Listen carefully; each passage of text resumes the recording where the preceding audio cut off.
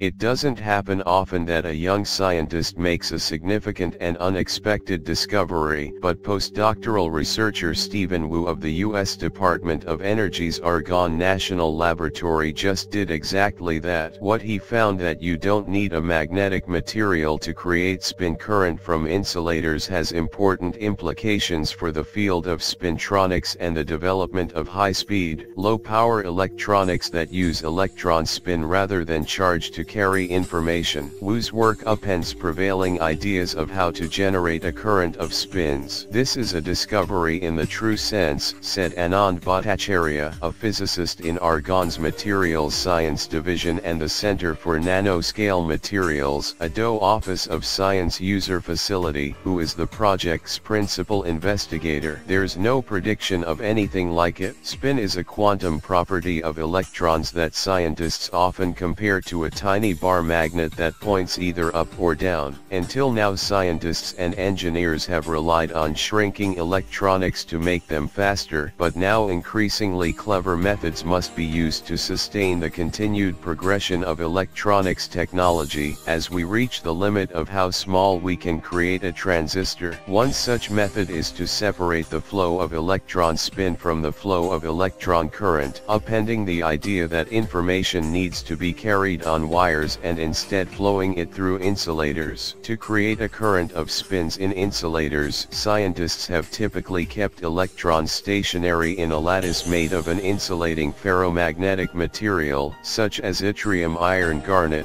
YIG. When they apply a heat gradient across the material the spins begin to move that is, information about the orientation of a spin is communicated from one point to another along the lattice much in the way a wave moves through water without actually transporting the water molecules anywhere. Spin excitations known as magnons are thought to carry the current.